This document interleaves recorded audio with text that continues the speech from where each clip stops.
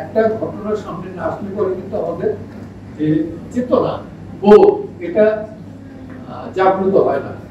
একটা জিনিস খেয়াল রাখবেন এটা কিন্তু মেইন ডোমিনেটিং সোসাইটি পুরুষ শাসিত সমাজ ক্ষমতা ছাড়বে না যতক্ষণ পারে ক্ষমতা দখল করে রাখবে। এবং মহিলাদেরও কিন্তু এর এই ব্যাধিটা সংক্রামিত হয়েছে। আমার কাছে যেটা হয়, তারাও চায় যে পুরুষের মতো আমরাও শাসন তো সেই ক্ষেত্রে এসে এই আইনটা বাস্তবায়িত করতেই হবে। বহু মিডিয়া আছে যেখানে হ্যারাসমেন্ট হয়। আমি জানি।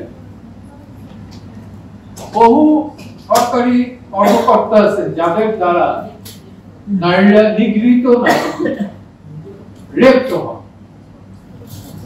তো এগুলো কি?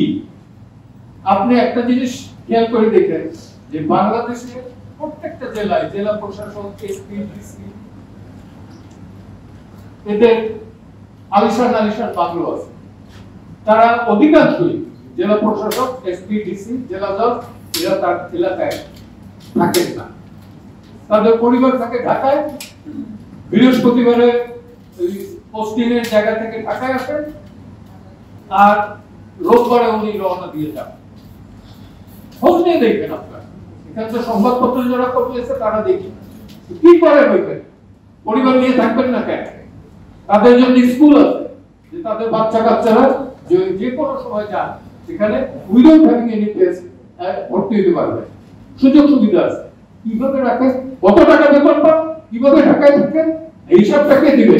তাদের দিতে হবে। বেসিক্যালি একটা ভালো প্রজাতন্ত্রী বাংলাদেশ। এটা একাত্তরের মুক্তিযুদ্ধের চেতনার ভেতর থেকে যদি হয় তাহলে কিন্তু এদের জবাবদিহিতা করতেই হবে। আজ হোক কালকেও করতে হবে।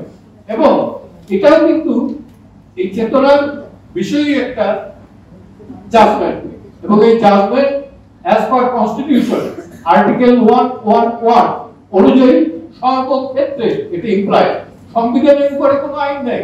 আপনারা আইনের কথা বলতেছেন যে সংবিধানের উপর তো কোনো আইন নেই। সংবিধান দ্বারা স্বীকৃত এটা। সো আমাদের ভয় পাওয়ার কিছু নাই এবং হতাশা হওয়ারও কিছু নাই। ধীরে ধীরে হলেও আগাতে হবে। অন্ধকার কাটবে সবাই আমরা আলো জ্বালাবো, সামনের দিকে এগিয়ে যাব এবং অতি সত্তরে আপনারা দেখতে পাবেন।